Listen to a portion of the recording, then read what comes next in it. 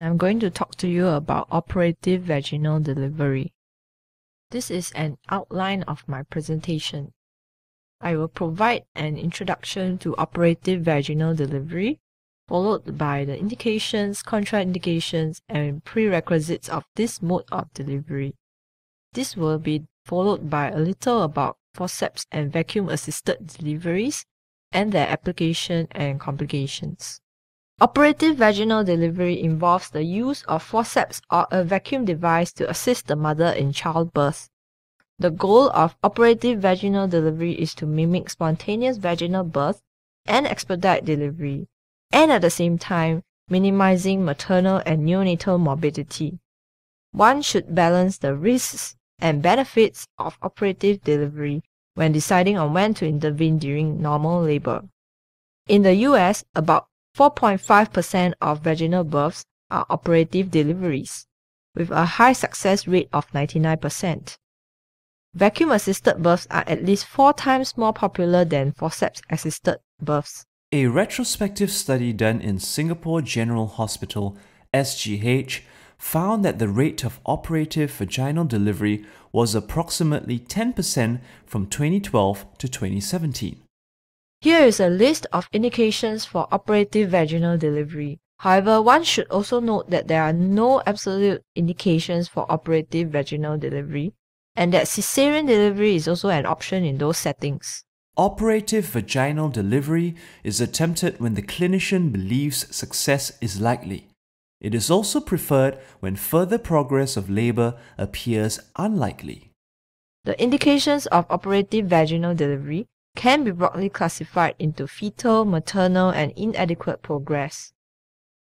Fetal indications include presumed fetal compromise or probable imminent fetal compromise, for example, when there is abnormal cardiotocograph findings. Maternal indications include to shorten and reduce the effects of the second stage of labor on the background of maternal medical conditions, an inadequate progress in labor would include a lack of continuing progress in labor over a stipulated period of time, as well as maternal fatigue or exhaustion. There are some contraindications to operative vaginal delivery, and these are mostly related to unacceptable fetal risks, such as suspected fetal pelvic disproportion, fetal bleeding disorders such as fetal hemophilia, which may result in a cephalohematoma or subdural hemorrhage, fetal predisposition to fractures such as osteogenesis imperfecta, fetal prematurity, which is especially true for vacuum extractors, first due to the risk of subdural and intracranial hemorrhage, increased chance of fetal abrasion or scalp trauma. Operative delivery is also contraindicated before full cervical dilatation, or in the presence of an unengaged fetal head or when the fetal position is unknown.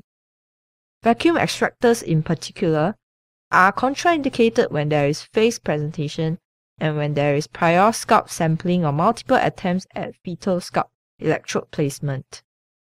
Before performing an assisted vaginal delivery, ensure that the fetal head is at most one-fifth palpable, that the fetus is in vertex presentation, the cervix is fully dilated and the membranes have ruptured. Ensure that fetal presentation, position, lie, and any asynclitism are known. Assess the caput and molding of the fetus. And ensure that the maternal pelvis is deemed adequate and there is no cephalopelvic disproportion. Ensure that the mother has been prepared for the procedure by making sure that clear explanation has been given and informed consent has been obtained. Check that appropriate analgesia has been administered for mid-cavity rotational deliveries. Ensure that maternal bladder has been emptied recently and that the indwelling catheter has been removed or at least deflated. The operator should have the knowledge, experience, and skill required to perform the delivery, and the procedure should be performed aseptically. Adequate facilities should be prepared and made available. A backup plan should also be put in place in case of failure to deliver, such as a crash cesarean delivery. The operator should anticipate complications that may arise during the procedure, such as shoulder dystocia and postpartum hemorrhage. and be prepared to address these complications. In addition to this, someone who is trained in neonatal resuscitation should also be present. Here is a picture of the anatomy of the forceps. The key structures of the forceps are the blades, shank, lock, finger guards, and handle. The handles transmit the applied force. The screw or lock represent the fulcrum, and the blades transmit the load. The Kielland forceps are a type of rotational forceps. They possess a slightly backward pelvic curve with overlapping shanks and a sliding lock. It allows for rotation of the vertex without moving the handles of the forceps through a wide arch. The Neville Barnes forceps is a mid-cavity non-rotational forceps. It is used when the fetal head is one-fifth palpable per abdomen or when the leading point of the skull is above station plus 2 but not above the ischial spines. Wrigley forceps is a low-cavity forceps that is used when the fetal scalp is visible without separating the labia, or when the fetal skull has reached the pelvic floor, or when the fetal head is at or on the perineum. It can also be used during cesarean section. The vacuum extractor such as a kiwi cup works on the principle of creating negative pressure to allow fetal scalp tissues to be sucked into the vacuum cup. The kiwi cup can be applied to the flexion point in the occipital, lateral, and posterior position. The forceps should grasp the occiput anterior fetal head, and the long axis of the blades should correspond to the occipitomental diameter.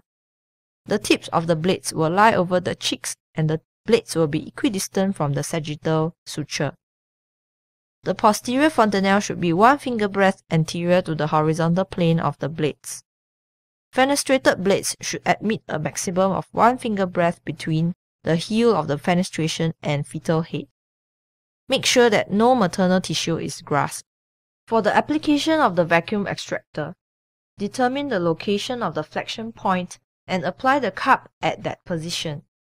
The flexion point is normally located along the midline over the sagittal suture, approximately 6 cm from the anterior fontanelle and 3 cm from the posterior fontanelle. Ensure that the vacuum placement is correct on the flexion point. Sweep the edges with a finger to ensure that no maternal tissues are entrapped. Then rapidly apply a maximum suction of 600 mm of mercury. Apply gentle traction along the axis of the pelvic curve in synchrony with maternal pushing. Should the vacuum get dislodged from the fetal head, examine the fetal scalp to ensure there is no injury before the vacuum extractor is reapplied. Vacuum assistance should be limited to 3 contractions for the descent phase, 3 contractions for the outlet extraction phase, 2 to 3 pop-offs, and a total time of 15 to 30 minutes. Operative vaginal delivery can be abandoned when the following occurs. Firstly, the instrument cannot be applied. Secondly, descent of the fetus still does not occur even after traction has been applied. Thirdly, if the fetus has not been delivered after a period of time. When the procedure is abandoned, a cesarean section can be done instead.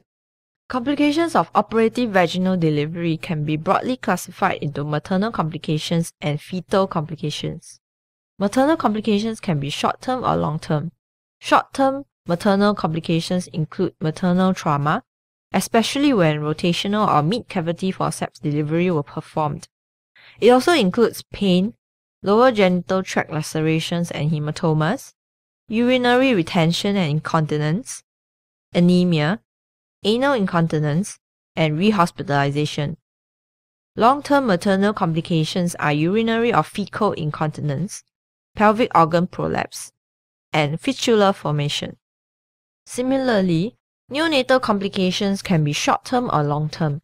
Short-term neonatal complications include subgaleal hematoma, intracranial hemorrhage, bruises, abrasions and lacerations, facial nerve palsy, cephalohematoma, retinal hemorrhage, skull fractures, hyperbilirubinemia, shoulder dystocia, brachial plexus injury, extraocular trauma, as well as lipoid necrosis. Long-term neonatal complications are intracranial hemorrhage and neuromuscular injury. Quiz time. Question 1. Which of the following is not a contraindication to operative vaginal delivery?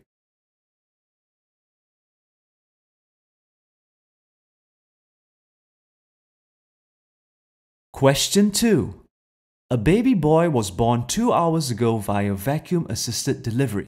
His parents are concerned about a fluctuant lump on the neonate's head. It does not cross suture lines.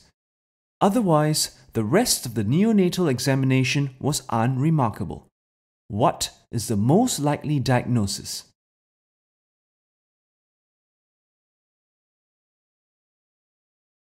Question 3.